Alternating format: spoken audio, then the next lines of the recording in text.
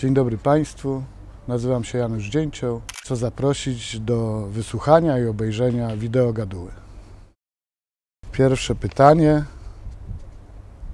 Sebastian Florek poszedł do SLD, Janusz Dzięcioł do PO. Kto nadawałby się do PiS? Polityczny.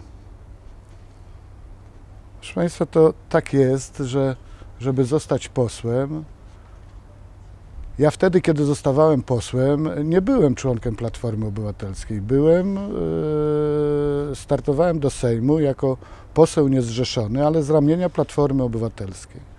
Moje wstąpienie do partii było związane z tym, że wtedy, kiedy moi koledzy jakby dawali mi rekomendacje, żeby, żeby mógł być zapisany na listach, zapytali mnie, czy po wyborze do Sejmu wstąpię do Platformy, więc ja takie zobowiązanie złożyłem. W związku z tym, że staram się być człowiekiem poważnym i dotrzymywać słowa, wstąpiłem do Platformy Obywatelskiej. Cała reszta, czy to był dobry wybór, czy zły, to jest jeszcze kwestia dyskusji, ale myślę, że dużego błędu nie zrobiłem. E, prawdopodobnie, gdyby było tak, jak Platforma sobie życzy, żeby były okręgi jednomandatowe, nie trzeba by było być e, człowiekiem partii, żeby zostać e, posłem, żeby sprawować urząd posła, czy pracować dla państwa tutaj w Sejmie. Jak pana sprawność fizyczna jako, jako strażnik miejski w programie namiętnie robi pan pompki i karate? Czy jako poseł też ma pan czas na trenowanie? Biceps jest, koksik.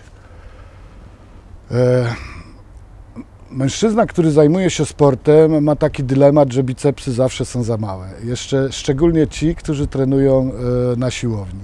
Ja muszę Państwu powiedzieć, że e, ja dużo zajmuję się sportem. E, najgorsze są tygodnie, kiedy właśnie jestem, jestem tutaj w Sejmie. A jeszcze spaliła się tutaj siłownia. To już w ogóle są kłopoty z utrzymaniem sprawności fizycznej. Ale wtedy, kiedy jestem w domu, trzy razy w tygodniu staram się przejechać po 70-80 km rowerem i to w takim czasie 2 godziny 20 minut. E, czy to dobrze, czy źle? Ja dzisiaj mam 57 lat. E, zrezygnowałem z siłowni, bo grając w rugby rozwaliłem sobie bark. Ścinając żywopłot przy domu uszkodziłem sobie coś z górnym kręgosłupem, więc jazda na rowerze to też jest doskonały sport, który utrzymuje i kondycję, sprawność fizyczną, a nie zanikają ani bicepsy, ani tricepsy. Także myślę, że z moją sprawnością, mając te lata, jeszcze nie jest tak źle.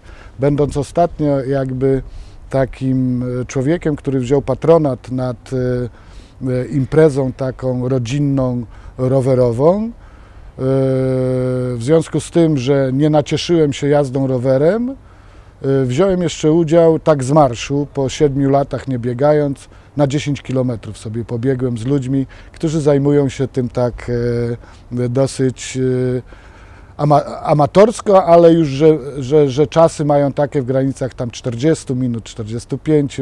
No ja, przybieg, ja przebiegłem te 10 km w godzinę i muszę Państwu powiedzieć, że też czułem się zwycięzcą, bo tak to jest, że kiedy zwyciężasz samego siebie, to chyba jest najlepszy smak zwycięstwa. Mam pomysł na reality show. Bierzemy najbardziej znanych polityków i zamykamy w domu BB. Byłaby naprawdę niezła jadka. Jak pan sądzi, kto by wygrał? Najmądrzejszy czy najgłośniejszy? Yy, muszę powiedzieć, a jeszcze jest to Michał XXY. Muszę Państwu powiedzieć, że to wcale nie powiedziane, czy, czy musi wygrać najmądrzejszy, czy najgłośniejszy. Wygrałby ten, którego Państwo byście uznali za zwycięzcę.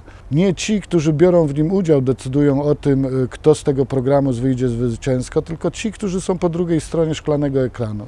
I to od Państwa zależy, czy wybierzecie najmądrzejszego, najładniejszego, czy tego, który najlepiej gra. E, w tym reality, w którym ja byłem przez trzy miesiące, nie można grać. Czy prędzej, czy później trzeba e, po pokazać swoją, swoją osobowość, swoje jestestwo. Gdybym ja w tym programie grał, pewnie Państwo nie przyjęlibyście mnie jako zwycięzcy z tego względu, że uważaliście, uważalibyście, że mnie za człowieka sztucznego, za kogoś, kto chce Was oszukać.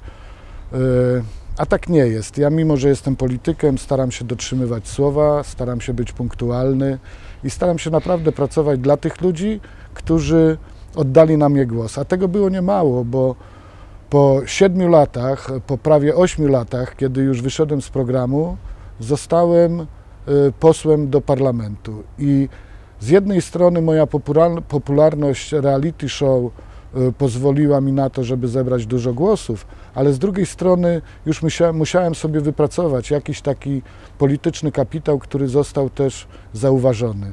Ludzie dzisiaj y, nie uznają marności i gdyby tak było, to ja tym posłem nie zostałbym.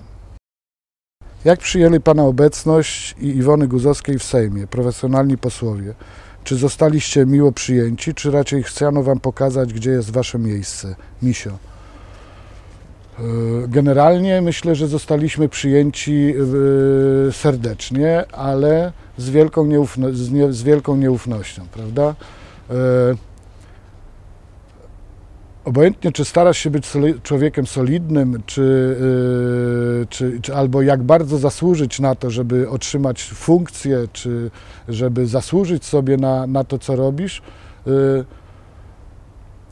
ludzi, którzy brali udział w reality show albo ludzi sportu, traktuje się z lekkim przymrużeniem oka. I tutaj w Sejmie trzeba naprawdę yy, spróbować zapracować sobie na uznanie. To nie jest tak, że ono przychodzi tylko E, dlatego, że wygrałeś reality show, czy zostajesz mistrzem świata w boksie, czy jesteś doskonałym sportowcem.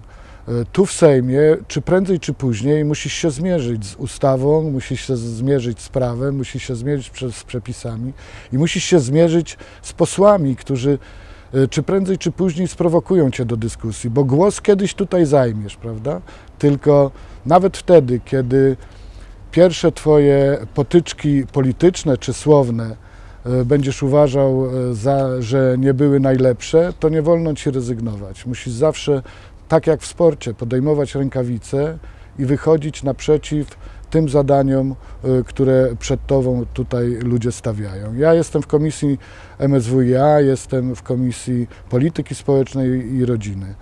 Y, to nie zawsze jest tak, że znasz się na wszystkim, co w, w, nad czym w tych komisjach się pracuje, ale zawsze znajdzie się tematy, y, o, które Cię interesują i z których możesz y, jakby się wykazać. Ja już trzykrotnie byłem posłem sprawozdawcą, bardzo często biorę udział w wydawaniu opinii klubowej do ustaw z ramienia Platformy Obywatelskiej, więc myślę, że dzisiaj po trzech latach pracy ci posłowie, którzy stawiają przed nami zadania, nasi szefowie komisji, y, ludzie y, kierujący Platformą Obywatelską, coraz więcej ufają mi, że poradzę sobie z ustawami, które dostaję do pracy i które muszę poprowadzić od początku do końca.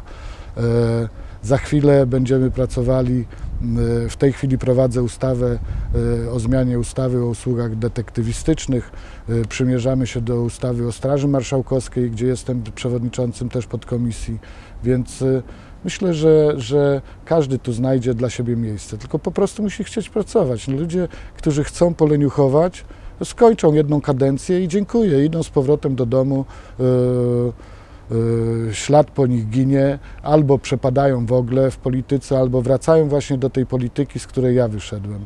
Będąc radnym, dochodząc do wiceprzewodniczącego y, Rady Miasta 100-tysięcznego naszego Grudziądza, więc to y,